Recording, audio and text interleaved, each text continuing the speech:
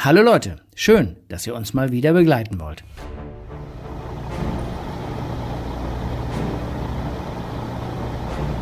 Randers Airport, Delta Mike Echo Mike Zulu, type of aircraft CT, Charlie Tango, two people, take off runway 07 in two minutes. Delta Mike Echo Mike Zulu, taxi to taxi holding point 07. Randers Radio, Oscar Yankee 9262, øh, kommer for land, øh, 1100, 1200 fod øh, over motorvejen, går på finale om et minut. Wie viel Minuten? Eight minutes habe ich verstanden. Eight minutes. Come in for landing. Delta Mike Echo Mike Zulu, taking off runway 07 in one minute.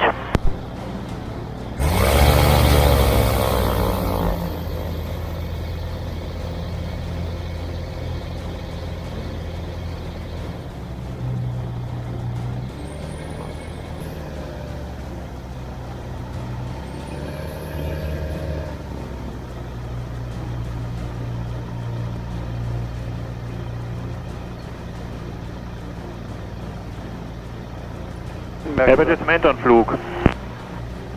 Jetzt sehe ich ihn. Ja. Delta Mike Zulu, hold position, taxi holding point 07. Meldet ihr denn keinen Anflug, hä? Kannst du mir das mal sagen? Keine Ahnung. War auch nicht so gut im Englischen anscheinend. Er hat ja die Hälfte in Dänisch gesagt und die Hälfte in Englisch.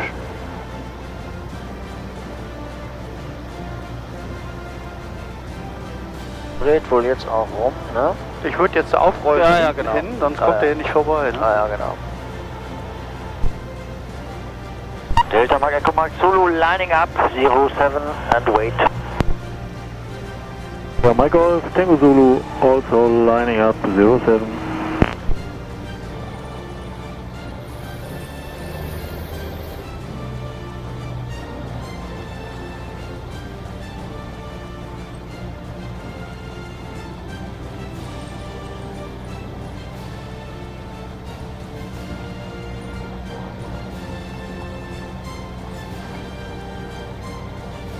Delta Mike Echo Mike Zulu taking off 07. Ich auf jeden Fall artig bedankt auf Dänisch. Randers Radio, Oscar Yankee Bravo, Kilo Golf, taxier til stoplinjen og venter. Delta Mike Golf, Tango Zulu, starting 07.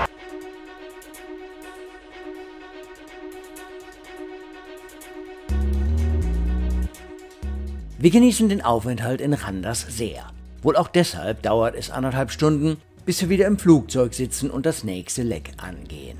Zehn Minuten nach dem Start sind wir bereits am Meer und folgen nun der jütländischen Küste nach Norden. Etwa nach der Hälfte des Weges kommen wir in einiger Entfernung an Aalborg vorbei, jenem internationalen Airport, den wir 2021 auf dem Weg nach Norwegen besucht hatten. Siehe Link hier oben und in der Videobeschreibung. Und dann geht alles ganz schnell. Der Sprung übers Meer, die Blindmeldungen im Funk, der sehr lange Endanflug auf die Piste 06 und eine leichte Landung auf der 928 Meter langen Asphaltpiste dieses einsamen kleinen Flugplatzes.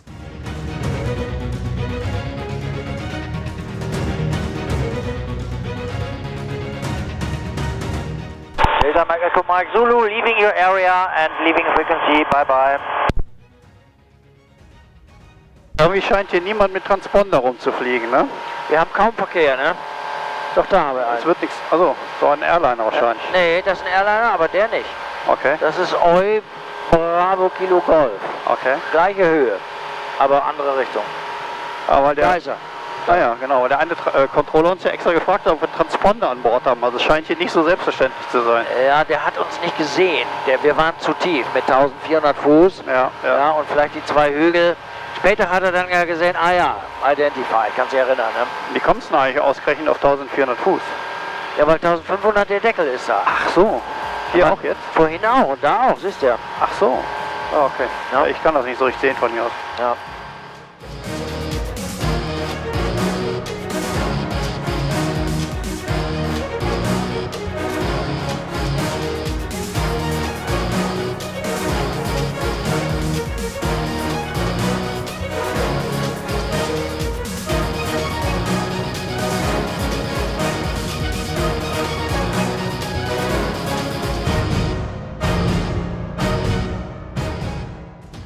Möchte an dieser Stelle nochmal kurz auf die Situation beim Start zurückkommen. Die Funksprüche des anfliegenden Flugzeugs waren wirklich schlecht.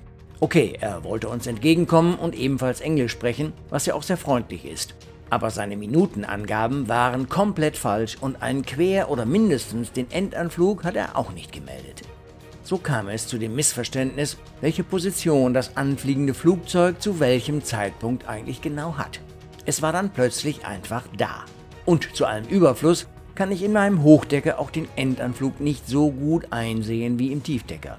Den Flieger querstellen, um den Anflugsektor zu sehen, geht auch nicht so gut, denn dann sehe ich nicht, ob die Piste frei ist. Immerhin hatte Mike das landende Flugzeug schon gesehen und das dann auch sofort gemeldet. Alles in allem ein schönes Beispiel dafür, wie wichtig widerspruchsfreie Funksprüche sind, vor allem in der Platzrunde. Ich hatte nach seiner ersten Aussage, acht Minuten, gedacht, da haben wir ja jede Menge Zeit. Bis dahin sind wir längst weg. Aber nun waren es statt der acht höchstens zwei bis drei Minuten. Und meine Regel ist, wenn ein gegnerisches Flugzeug noch im Queranflug ist, dann starte ich. Im Endanflug wird gewartet. Und im Zweifel sollte man das Flugzeug landen lassen. In keinem Fall kommt es beim Start auf drei oder fünf Minuten an, wenn man dadurch eine Situation entspannen kann. Unter dem Strich ist es dann aber genau richtig gelaufen. Wir haben gewartet, der Vogel ist gelandet, wir rollen auf, der andere rollt ab, wir starten, so soll es sein.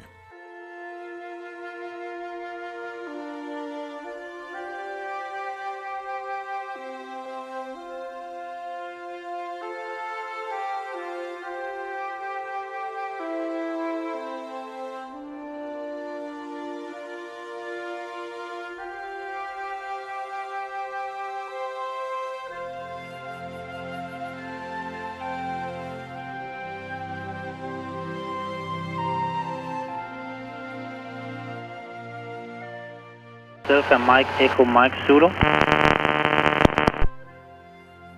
Delta Mike Echo Mike Zulu, go. I thought that was you calling me before, uh, but are you uh, here sir? Delta Mike Echo Mike Zulu formation, negative, we didn't call you, we just uh, VFR in 1400 to the uh, Leso Eka Echo Kilo Lima Sierra. Delta Mike Echo Mike Zulu. Thank you very much. Continue on your route. You're welcome, bye bye.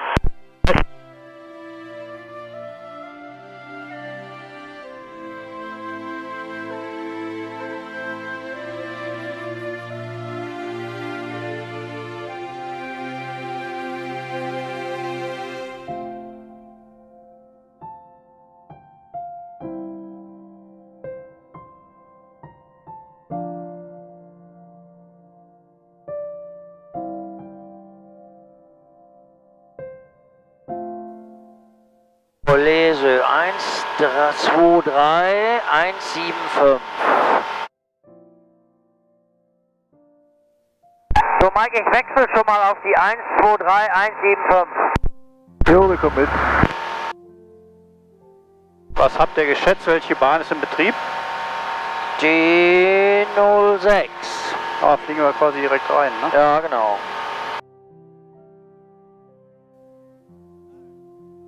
Dann rufe ich mal rein. Was haben wir denn? Lesö. Lesö Airport. Good day. Delta Mike Echo Mike Zulu. Delta Mike Echo Mike Zulu. Type of aircraft CT. Two people. VFR from Randas. Current position 8 miles west of your airfield. For landing runway 06. Delta Mark Echo Mark Zulu established on long final 06.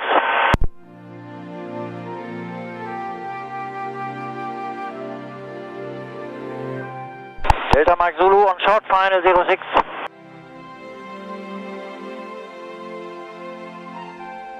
So eine tolle Bahn hier in die Wildnis, wa? Ja, Sieh das mal an.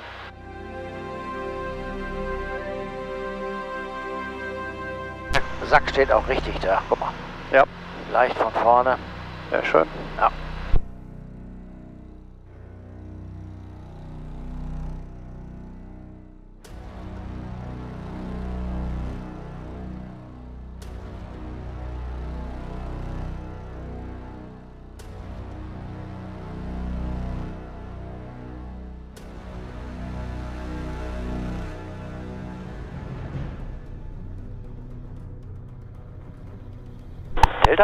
Runway vacated. Delta Mike Golf, Tango Zulu, short final 06.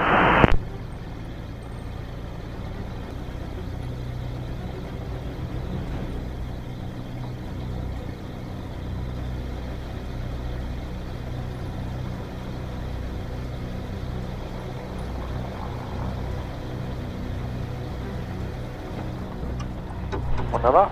Jo.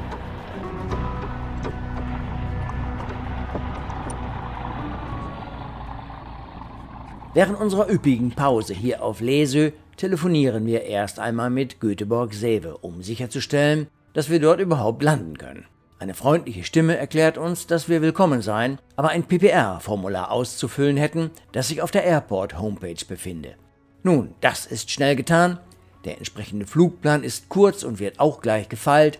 Und eine Stunde später sitzen wir wieder im Flugzeug.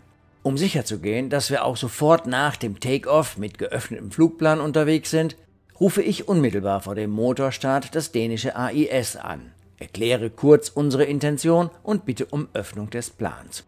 Und nun bin ich sehr gespannt auf meine erste fliegerische Begegnung mit Schweden.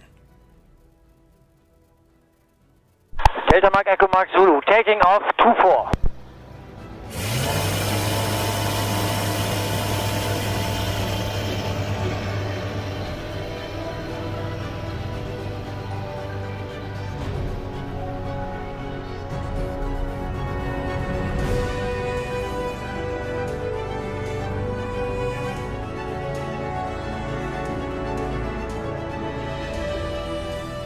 Hier ist das dazugehörige Routing.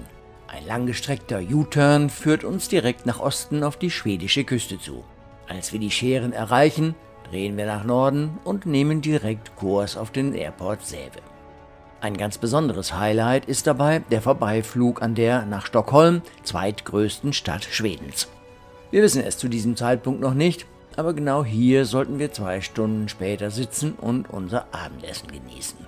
Der Anflug ist leicht, ist kein weiterer Verkehr unterwegs und so können wir ganz locker Anflug und Landung genießen. Nach dem Tanken parken wir unsere Flieger auf den vom Tower zugewiesenen Parkplätzen und fahren anschließend mit dem Taxi in die Stadt.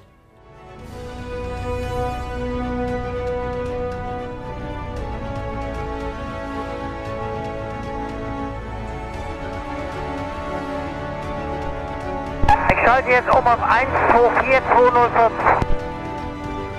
Ja, oder eigentlich, wahrscheinlicher war die andere, dachte ich, die 124680. Die brauchen wir ja nicht mehr. Der Flugplan ist ja offen. Ja, okay. Wir hatten noch gesagt, wir gehen, bevor wir die Grenze überfliegen, direkt auf Göteborg Approach.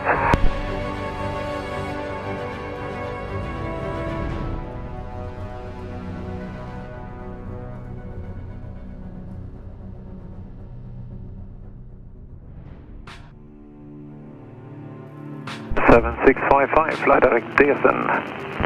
Course Dark Desen, Scandinavian 7655. Wir steigen auf 3000 Fuß und nach weniger als 10 Minuten sind wir bereits in Schweden. Der Kontakt mit Göteborg Approach klappt auf Anhieb und nun sehen wir in der Ferne auch schon die schwedische Küste, die schnell näher kommt. Das ist schon Schweden, nein. Ja. Glatt Katzensprung, wa? Ja, ist ein Katzensprung. Göteborg Approach, good day. Delta Mike Echo Mike Zulu. Delta Mike Echo Mike Zulu Göteborg, good day. Call you back shortly. Delta Mike Echo Mike Zulu Göteborg Control. Yes, thank you, sir. Delta Mike Echo Mike Zulu formation with Delta Mike Golf Tango Zulu close behind me. VFR with uh, two separate flight plans from Echo Kilo Lima Sierra departed 10 minutes ago to Echo Sierra Golf Papa. Current position is inbound lobby, reporting point in 2400 for flight information. Delta Mike Echo Mike Zulu formation. Roger. Uh, continue in uncontrolled airspace. No reported traffic. And QNH is 1029er. Delta Mike Echo Mike Zulu formation. QNH is 1029er. No traffic uh, at the area and will continue our flight plan. Delta Mike Echo Mike Zulu, and set squawk 2176 please, 2176. And the squawk 2176, Delta Mike Echo Mike Zulu formation.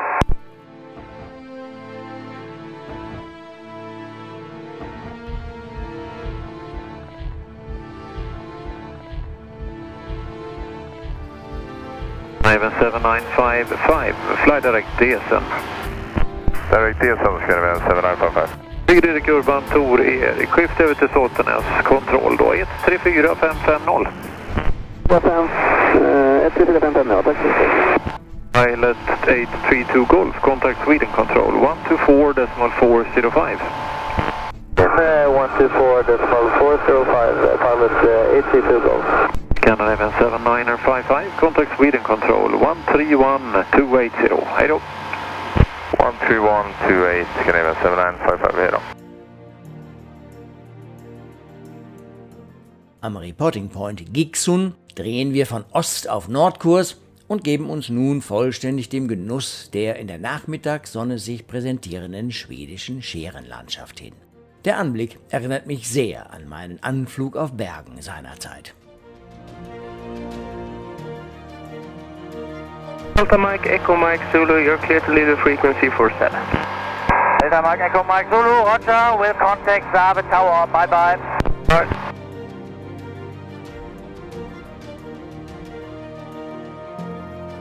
David Tower, good day, Delta Mike Echo Mike Zulu.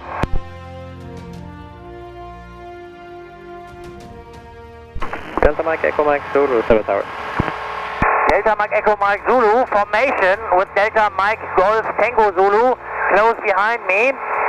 VFR with two separate flight plans from Echo Kilo Lima Sierra. Current position is outbound reporting point Giksun in 1,400 feet, 10 minutes south of your airfield. For landing, please.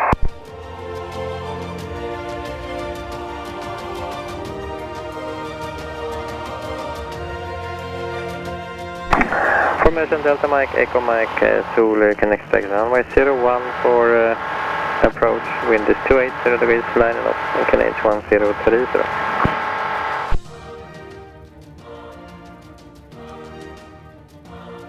Delta Mike Echo Mike Zulu, QNH 1030. Expect runway 01. Das heißt, fliegen da komplett rein. Wunderbar. Sieht doch gut aus. Kann man als Long Final reinfliegen wahrscheinlich, ne? Ja, nehme ich an. Ja. Ah, sieht das nicht geil aus? Mega. Wow. Spektakuläre Gegend hier. Delta Mike Echo Mike Zulu formation, please confirm. Entering control zone approved. Information Delta Mike Zulu, affirm, clear approach, runway 01. 01, Delta Mike Zulu formation. Wunderbar. Nämlich keine Freigabe explizit gehört. Er hat ja nur gesagt Runway. Ja, das stimmt, da hast du recht. Da hinten ist die Runway, ne? Ja. Das ist eine coole Brücke für dich, guck mal. Ja, schon, schon gesehen. Die uns den Anflug hier fliegen lassen, wundert mich, ne? Wegen Lärmbelästigung und so weiter. Du, die Lärmgebiete sind da und da und da. Da Ah, ja. fliegen wir mitten durch. Ah, okay. Ne? Delta Mike, Echo Mike Zulu, do you intend to land as one unit or separate? Delta Mike Zulu, separate please, separate. Delta Mike Zulu, wind 290 degrees, 9 knots, runway 01, clear to land. Delta Mike Zulu, runway 01, clear to land. Yes, Delta Mike Golf Tango Zulu on the frequency. Delta Mike Golf Single Zulu, go ahead. So you will be issued a landing clearance when previous has vacated the runway. You can take out the distance accordingly. Delta Mike Golf Single Zulu, yes, will go.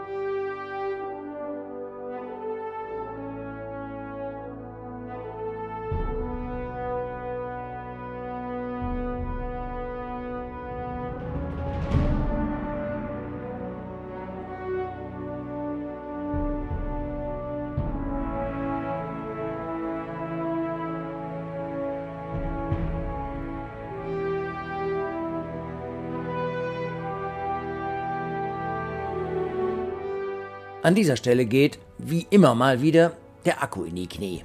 Die 25.000 mAh reichen leider nicht den ganzen Tag für Kamera und ADS-B-Flammenempfänger aus. Da vergesse ich schon mal, den zweiten Akku-Pack anzuschließen. Und so geht mir auch dieses Mal wieder im Enternflug der Strom für die Cam und damit für den Funk aus. Aber das ist nicht so schlimm, denn viel fehlt ja nicht mehr. Meine Landefreigabe habe ich ja schon bekommen, die Landung ist leicht und wie immer, besonders auf großen Plätzen, bemühe ich mich, möglichst schnell abzurollen und die Runway wieder freizugeben.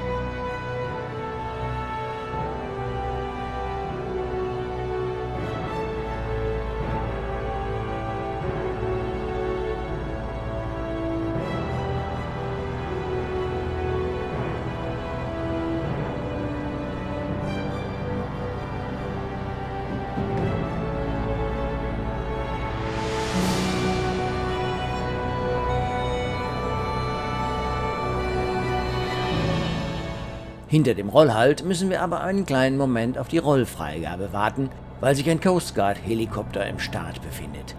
Ein Riesenteil ist das. Ich bin froh, dass der so weit weg ist, der fegt ein UL schnell vom Tisch.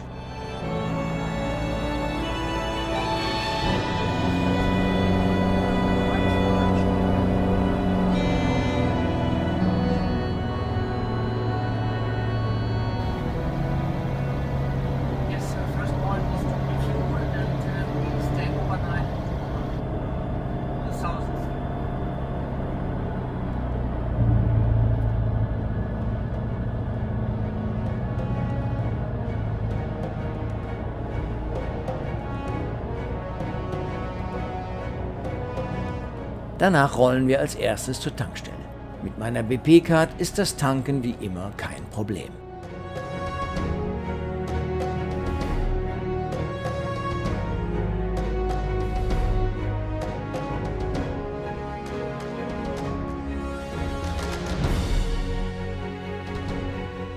Im Anschluss verzurren wir die Flieger, verlassen den Flugplatz durch eine kodierte Eisentür und kümmern uns um ein Taxi.